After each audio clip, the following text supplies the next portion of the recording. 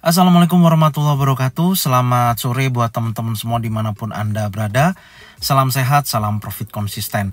Hari ini Zona Forex akan memberikan review gambaran daripada pergerakan XAU USD Dari sesi Asia sampai dengan sesi Eropa. Perkembangannya seperti apa? Langsung aja kita lihat di chart dan kita mulai di time frame 4 jam kalau kita perhatikan dari sesi Asia sampai dengan sesi Eropa, market kecenderungannya membentuk sebuah area konsolidasi di mana buyer dan seller memiliki kekuatan yang seimbang.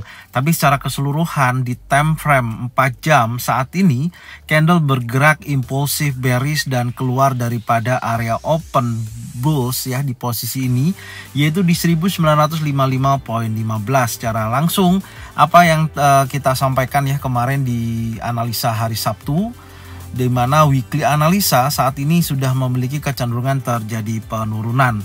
Oke, sekarang kita akan cek di time frame 1 jam.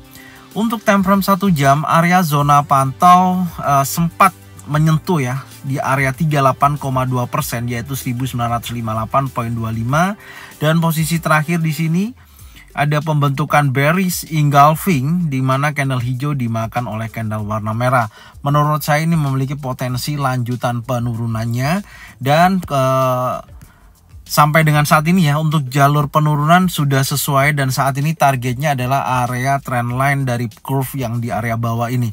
Dan posisinya memang kalau kita perhatikan biasanya ketika membentuk bearish engulfing itu market akan uh, koreksi ya minimal 50% atau 38,2% dari posisi ini.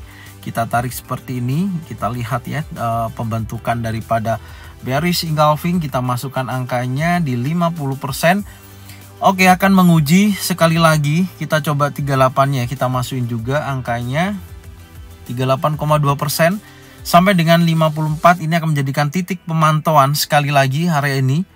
Oke, untuk melihat dorongan seller itu akan kembali lagi uh, menguat ya. Sorry, uh, maksudnya akan kembali lagi melemah di posisi ini. Kita akan lihat nantinya uh, di time frame yang lebih kecil apakah ada potensi bearish engulfing, bearish pin bar, three inside down di posisi ini untuk kita melihat uh, penurunan kembali untuk market XAU USD.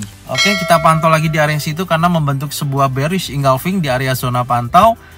Setidaknya nanti kalau kita lihat di time frame 15 menit ya seperti ini. Artinya ada potensi minimal ya, minimal ini akan naik ya di area ini kembali lagi.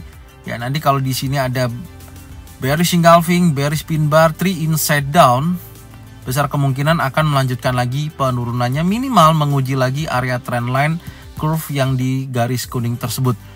Itu minimal ya sampai ke sana. Tapi kalau nanti dia tidak ada retest ya tentunya akan melanjutkan secara langsung penurunan untuk XAUUSD. Tapi targetnya apakah bisa sampai melebihi daripada uh, 20 dolar? Kalau kita hitung range-nya sampai dengan posisi saat ini dari titik ini tertingginya kita tarik ke bawah minimal menurut saya masuk ke level 1942 sih.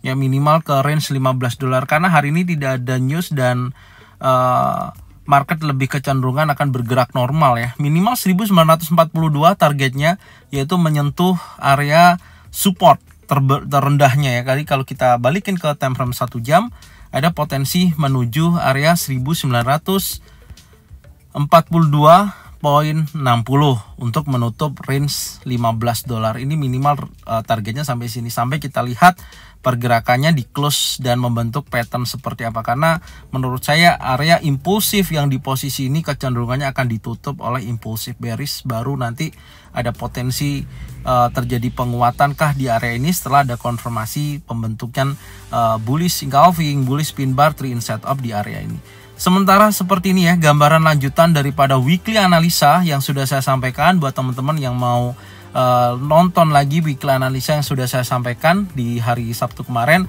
Silahkan cek, insya Allah masih bersambung dengan posisi saat ini dan market masih dalam kecenderungan adalah bearish. Oke. Okay? Jadi ini yang bisa saya sampaikan untuk analisa uh, review sore hari ini ya. Semoga informasi ini bermanfaat dan tentunya jangan lupa bagikan videonya, channelnya ke teman-teman kalian semua supaya mereka semua bisa mendapatkan manfaat yang sama.